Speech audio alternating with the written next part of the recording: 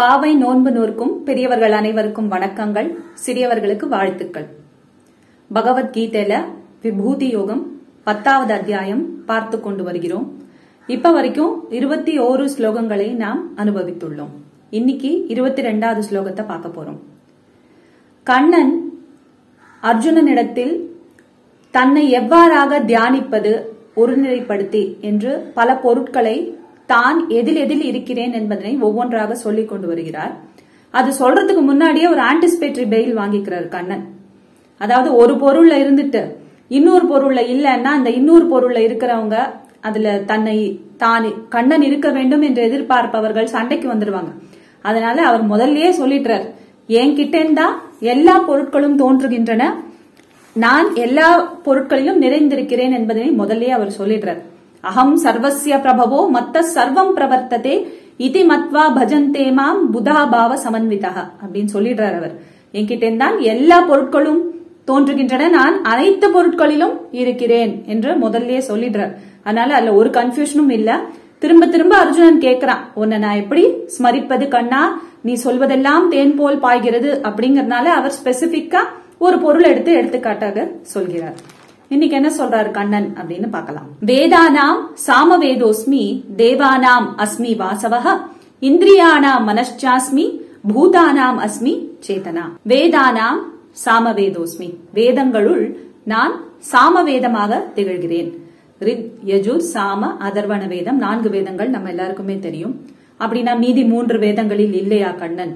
மீதி மூன்று வேதங்களும் வேஸ்ட் மூணு வேதங்களும் சண்டைக்கு வந்துட்டா என்ன பண்றதுங்கிறதுக்கு தான் முன்னாடியே ஆன்டிசிபேட்டரி பெயில் அவர் வாங்கிட்டாருன்னு நமக்கு தெரியும். ஆனாலும் சாம வேதத்தில் நான் இருக்கிறேன். அந்த சாம கானங்களாக குழந்தைகள் சாம வேதம் சொல்லும் பொழுதே மனசுக்கு ரொம்ப நெகிழ்ச்சியாக இருக்கும். ஒரே ஒரு முறை கேட்டாலும் நம்மால வாழ்நாள் முழுவதும் கேட்கவே மறக்கவே முடியாத ஒரு சாமகானம் இதிலிருந்துதான் கர்நாடக சங்கீதமும் ஹிந்துஸ்தானி சங்கீதமும் அதுதான் பேஸ் அதுலேருந்து தான் தோன்றி இருக்கு அப்படின்னு சங்கீத வித்வான்கள் சொல்லி நம்ம கேட்டிருக்கோம். அழகான மீட்டர்ல இருக்கும்.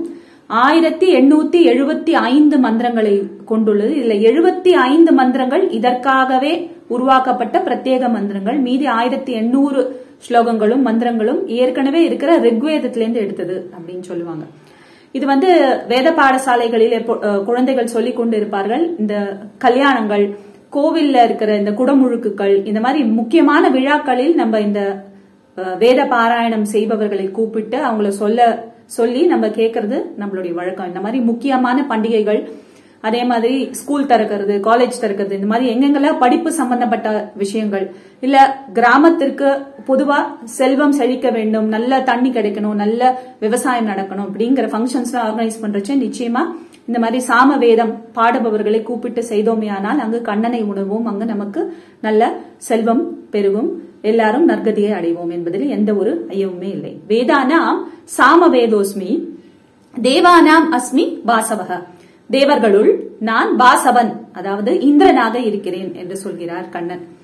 ஏற்கனவே பார்த்த மாதிரி பூலோகத்துல இந்திரனுக்கு வந்து நல்ல பெயர் இந்திரனாக போற அப்படிங்கிறது ஒரு பெரிய பதவி. அது வந்து ஆனா பிராக்டிக்கலா பார்க்கும்போது லௌகிகமா அந்த பதவிக்கு தகுந்தவாறு இந்திரன் நடந்து கொள்ளவில்லை.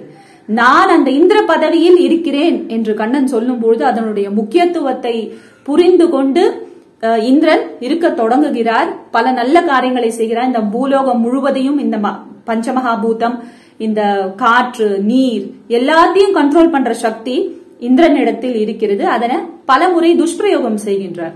கண்ணனுடைய சரித்திரத்தை எடுத்தோம் எடுத்து பார்த்தோம்னாலே கோகுலத்துல இந்திரன் என்ன செய்கிறான் என்பது நமக்கு தெரிகிறது. தனக்கு அகங்காரம் வருவதை போல் கண்ணன் செய்கிறார். கண்ணன் தான் அங்க விளையாடுறார். நமக்கு கண்ணன் யார் என்பதனை சொல்வதற்காக அந்த மாதிரி விளையாடுறார்.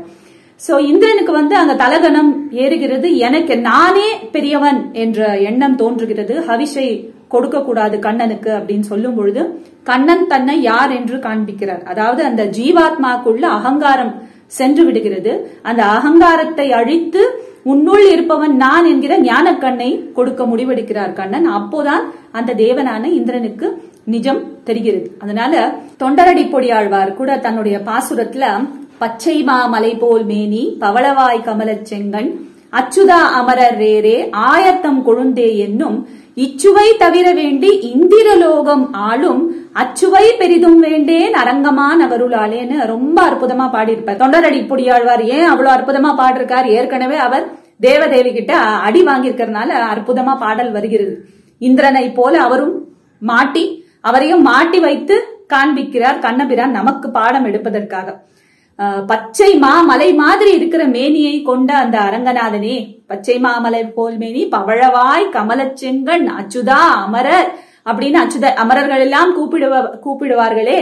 உன்னை உன்னை பார்க்கும் அந்த சுவையை விட எனக்கு அந்த இந்திரலோக பதவி வேண்டாம். இந்திரலோக பதவி கிடைச்சிருச்சுன்னா அஹ், அங்க ரம்ப இருப்பாங்க ஊர்வசி ஊர்வசி இருப்பாங்க. நம்மளுடைய இந்திரியங்கள் எல்லாம் டிஸ்ட்ராக்ட் ஆகிற வாய்ப்பு இருக்கிறது. அதனால அந்த மாதிரி ஒரு பதவியும் எனக்கு வேண்டாம் என்று தொண்டரடி பொடியாழ்வார் சொல்வதை போல் ரொம்ப அற்புதமான பாட்டு எல்லாருக்கும் தெரிஞ்ச பாட்டு. அதனால இப்ப நமக்கு தெரியும் இந்திரலோ இந்திர பதவி என்பது கண்ணன் இருக்கும் பதவி என்று. அதனால் நமக்குள்ள யாராவது யாருக்காவது இந்திர பதவி கிட்டினாலும் கண்ணன் இருக்கிறான் அதில் என்பதனை உணர்ந்து அந்த தகுதிக்கு ஏற்றவாறு இந்திரியங்கள் எந்த காரணத்தினாலும் டிஸ்ட்ராக்ட் ஆகாம கண்ணனை நினைத்து செயல்பட்டோமே ஆனால் அந்த இந்திர பதவி கூட நல்ல பதவியாக நம்ம செய்து காட்டி காண்பித்து வாழ முடியும். ஆக தேவானாம் அஸ்மி வாசவக இந்திரியானாம் மனஸ்ஜாஸ்மி அதாவது இதுக்கு முன்னாடி இந்த டபுள் டபுளா சொல்றாரு இமிடேட் ஆற மாதிரி இருக்க பாயிண்ட்ஸ் இதுக்கு முன்னாடி ஆதித்யானாம் அகம் விஷ்ணுகு சொல்லிட்டு உடனே ஜோதிஷாம் ரவிரம்சுமான் சூரியனினுடைய நிலைகளாக சொல்கிறார் சூரியனாக சொல்கிறார். அது ஒண்ணு பார்க்கிறோம் அதே மாதிரி தேவானாம் அஸ்மி வாசவ இந்திரனாக இருக்கிறேன் என்று சொல்கிறார். அடுத்தது வந்து மனசில் இந்திரியங்களில் நான் மனதாக இருக்கிறேன் என்று. இதுல ஒரு ஒரு ஒரு சாமானியத்தை அதாவது ஒரு சிமிலாரிட்டியை நம்மளால பார்க்க முடியும். தேவர்களின் தலைவன் இந்திரன் என்று சொல்லும் பொழுதே பெரியவர்கள் என்ன சொல்வார்கள்? சாஸ்திரங்கள் என்ன சொல்கின்றது என்றால் இந்திரியங்களின் தலைவன் தான் இந்திரன் அப்படின்னு சொல்லுவாங்க. அதாவது மனசுதான் இந்திரன் என்று சொல்வார்கள். அதே மாதிரி அடுத்த ஸ்லோகத்துல இந்திரியங்களுள் நான் மனதாக இருக்கிறேன் என்று சொல்கிறார் கண்ணன். மொத்தமா நமக்கு பதினோரு இந்திரியங்கள். அஞ்சு ஞானேந்திரியம் அஞ்சு கர்மேந்திரியம் ஒன்று உபயேந்திரியம். உபயேந்திரியம் என்றால் ஞானம் மற்றும் கர்மமாக பணிபுரியும் இந்திரியம் அதுதான் மனது. அஞ்சு ஞானேந்திரியம் நம்ம ஸ்ரோத்திரம் காது கண்கள் மூக்கு வாய் மற்றும் தோல். இதை வச்சு நம்ம ஞானத்தை நம்ம சுற்றி இருக்கிற இன்டர்ஃபேஸ் நம்ம உலகத்துல இருக்கிற எல்லா விஷயங்களையும் கற்றுக்கொள்கிறோம். இந்திர என்றாலே இந்திரியா என்றாலே இன் என்றால் பொருள் அந்த சப்ஜெக்ட் அந்த ஆப்ஜெக்ட் என்று பொருள் படும் திர என்றால் திரவம் என்று சொல்வோம் இல்லையா? அந்த இந்திரியங்கள் அந்த ஆர்க சென்ஸ் ஆர்கன்ஸ் எல்லாம் அந்த ஆப்ஜெக்ட் கிட்ட அப்படியே ஓடி போகுமா? அத தன்னுடைய சுகத்தை அனுபவிப்பதற்காக. ஒரு பொருள் இருக்கு பாக்குறோம் அப்ப அந்த கண்கள் அப்படியே திரவமாக சென்று அந்த பொருளை கிரகிக்க பார்க்கிறது அதனால் அதனால் தான் அதன் பெயர் இந்திரியம் என்று பொருள். அதே மாதிரிதான் காது. கேட்க பார்க்கிறது முகர பார்க்கிறோம் சுவைக்க பார்க்கிறோம் தொட்டு பார்க்க பா- தோன்றுகிறது. சோ இதல் அதனால் தான் அதன் பேர் இந்திரிய இந்திர திரவணத்தினால் இன்னுக்கு இந்திரியம் என்று பொருள். இந்த இந்திரியங்களை சொல்லும் பொழுதே இந்திரனால் புரியப்பட்டது இந்திரனால் உருவாக்கப்பட்டது அப்படின்னு வரும். இந்திரலிங்கம். இந்திரன் இருப்பதற்கான லிங்கம் என்றால் சிம்டம். அறிகுறிதான் இந்த இந்திரியங்கள். இந்திர திருஷ்டம் இந்திரனால் காணப்பட்டது. இந்திர சிருஷ்டம் இந்திரனால் சிருஷ்டம் என்றால் படைக்கப்பட்டது. இந்திர ஜுஷ்டம் இதனுள் இந்திரன் அடங்கி இருக்கிறான் இந்திர தத்தம் இந்திரனால் கொடுக்கப்பட்டது என்று இந்த இந்திரியங்களை சொல்வர். இந்த இது அஞ்சு ஞானேந்திரியம் பார்த்தோம். அஞ்சு கர்மேந்திரியம் வாக் பாணி பாத பாயு உபஸ்த. வாக் என்றால் சொற்கள். அந்த வாய் வாய் வந்து ரெண்டு வரும். ஒண்ணு ஞானேந்திரியமா சுவைத்தனினால் அது ஞானேந்திரியமாகவும் இருக்கும். பேசுவதனால் அது கர்மேந்திரியமாகவும் இருக்கும். வா. பாணி நம்மளுடைய கைகள் பாதம் நம்மளுடைய கால்கள் பாய் பாத பாயு உபஸ்த நம்மளுடைய மலத்தை கழிக்கும் துவாரங்கள் மற்றும் உபஸ்த நமக்கு அஹ், குழந்தை பேரிற்கான அந்த இந்திரியம். சோ இந்த ஐந்து கர்மேந்திரியங்கள் இதெல்லாம் இந்த ஐந்து ஞானேந்திரியம் இந்த ரெண்டு இந்திரியங்களையும் கண்ட்ரோல் பண்ற உபயேந்திரியம். உபயம் என்றால் இரண்டு என்று பொருள். ரெண்டையும் கண்ட்ரோல் பண்ற இந்திரியம் தான் மனது. ரொம்ப ரொம்ப முக்கியமான ஒரு அஹ், இந்திரியம். ரொம்ப முக்கியமான உறுப்பு இந்த மனது. இந்த மனதுதான் இந்த பொருட்களை இந்த ஆத்மாவுக்கும் இருக்கிற பிரிட்ஜ் இந்த சுற்றி இருக்கிற இந்த சென்சரி பர்செப்ஷன்ஸ அத வந்து அனுபவிப்பதுதான் இந்த ஆத்மா. இதுக்கு நடுவுல இருக்கிற கருவி தான் இந்த மனது. அதனால ரொம்ப ரொம்ப முக்கியம் ஒரு மனிதனிடத்தில் மனது. இந்த மனதாக நான் இருக்கிறேன் கண்ணன். அப்ப ஆக எல்லார் மனதிலையும் கண்ணன் இருக்கான். எந்த ஒரு பேதபாவமும் இல்லை. அப்படிங்கறத சொல்றாரு. இந்திரியானாம் மனஷ்சாஸ்மி பூதானாம் அஸ்மி சேதனா சேதனா என்றால் உயிர். எல்லா உயிரினங்களிலும் நான் பூதானாம் அஸ்மி சேத்தனா. இங்கும் எந்த ஒரு வேறுபாடுமே இல்லை. அனைத்து ஜீவராசிகளிலும் மனதாக இருக்கிறேன். அனைத்து ஜீவராசிகளிலும் உயிராய் இருக்கிறேன். இந்த உயிரை பத்தி நமக்கு இன்னும் எத்தனை காலமானாலும் புரிதல் வந்து அவ்வளவாக இல்லை. ஒரு ஐவிஎஃப் எல்லாம் இப்ப பண்ணுவாங்க ப- பண்றாங்க இல்லையா? குழந்தை இல்லை என்றால் அந்த ஸ்பெர்மையும் ஓவமையும் எடுத்து அதுல இருந்து சின்ன சின்ன ஹியூமன் எம்பிரியோஸ் உருவாக்கி அதை ஃப்ரிட்ஜுக்குள்ள போட்டு வைக்கிறாங்க. இவ்வளவு அஞ்சு ஆறு ஆறு குஞ்சுகள் இருக்கும் ஃப்ரிட்ஜில் அந்த ஆறு குஞ்சுகளையும் எடுத்து அந்த பெண்ணிற்கு செலுத்தி அந்த குழந்தை வந்து உருவாகுதா அப்படின்னு பார்ப்பாங்க. அந்த ஆறுலயும் ஒரு எம்பிரிய ஃபார்ம் ஆயிடுத்து அப்படிங்கறதுனால அந்த குழந்தை நிச்சயமாக நமக்கு கிட்டும் என்று எந்த கேரண்டியும் இல்லை. அந்த எம்பிரியோவையும் எடுத்து இம்ப்ளான்ட் பண்ணி பார்த்து அதற்கு உயிர் வரலாம் உயிர் வராமலும் இருக்கலாம். ஆக அதையும் நிர்ணயிப்பது அந்த கண்ணனாக அந்த தெய்வம் இருக்கு. அதனால எல்லா இன்ஃபர்டிலிட்டி கேஸும் ஹண்ட்ரட் பர்சன்ட் சக்சஸ்ஃபுல் நம்மளால சொல்ல முடியாது. எதற்கெல்லாம் அது எழுதப்பட்டுள்ளதோ அதுதான் சக்சஸ்ஃபுல்லா ஆகும். அதே மாதிரி உயிர் பிரிவது உயிர் தோன்றுவதும் நமக்கு இன்னும் புரியல. ஏன் தோன்றுவது என்று- என்று நம்மளால் தோற்றுவிக்க முடியாத ஒரு புரியாத புதிராக இருக்கிறது. உயிர் பிரிவதும் நமக்கு புரியாத ஒரு புதிர் தான் இப்ப இந்த கார்டியாக் அரெஸ்ட் எல்லாம் இருக்கும் பொழுது அந்த ரிசஸ்கிட்டேட் பண்ணுவாங்க. கையை வச்சு அமுத்தி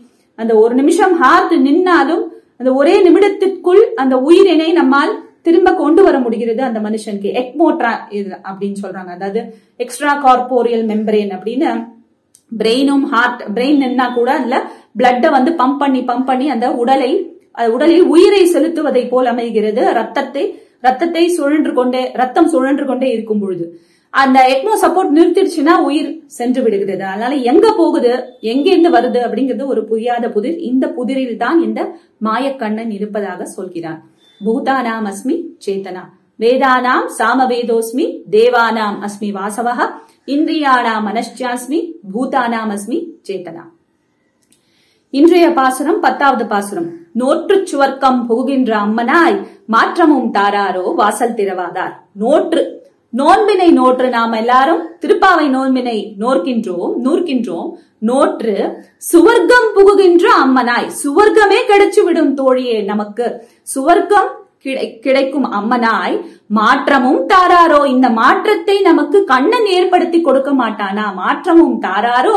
வாசல் திறவாதார் கதவை திறக்காமல் வம்பு செய்யும் தோழிமார்களே நீங்கள் நோம்பினை சரியாக நோற்றீர்களே. ஆனால் கண்ணன் நமக்கு ஸ்வர்க்க பதவியே கொடுப்பான். அதனால சீக்கிரம் கதவை தரங்க நோற்று சுவர்க்கம் புகுகின்ற அம்மனாய் மாற்றமும் தாராரோ. வாசல் திறவாதார் நாற்ற துழாய்முடி நாராயணன் நம்மால். திரும்ப நாராயணன்கிற பதம் வருகிறது. நாராயணன் பார்க்கும் பொழுதே சுவாமி ராமானுஜர் தான் ஞாபகத்துக்கு வருகிறார். நாற்ற துழாய்முடி நாராயணன்.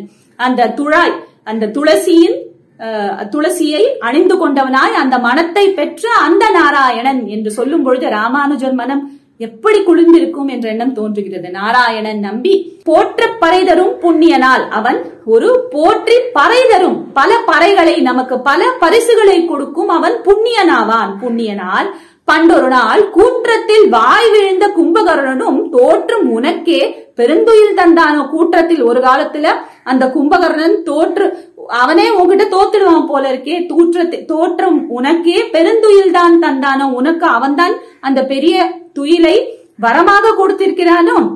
ஆற்ற அனந்தலுடையாய் ஆற்ற ரொம்ப அற்புதமான அனந்தல். சோம்பேறித்தனத்தை பெற்ற என் தோழியே அனந்தலுடையாய் அருங்கலமே மிகவும் அழகான கலத்தை போன்ற அந்த பித்தளை பாத்திரம் செம்பு பாத்திரம் தேய்ச்சி வச்சா பளபளான்னு இருக்கும். அந்த மாதிரி பளபளான்னு இருக்கிற என் தோழியே அருங்கலமே தேற்றமாய் வந்து திரவேலோர் எம்பாவாய் தேற்றமாய். உடம்பெல்லாம் கொஞ்சம் தேத்திட்டு முகத்தெல்லாம் நல்லா தொடச்சிட்டு வந்து என்னை திரவேலோர் கொஞ்சம் கதவை திறந்து விடுமா? நம்ம எல்லாரும் சேர்ந்து அந்த கண்ணனை தொழுவோம் வா என்று சொல்கிறது குட்டி லட்சுமியான ஆண்டாள். காலங்களில் கண்ணன் வசந்தம்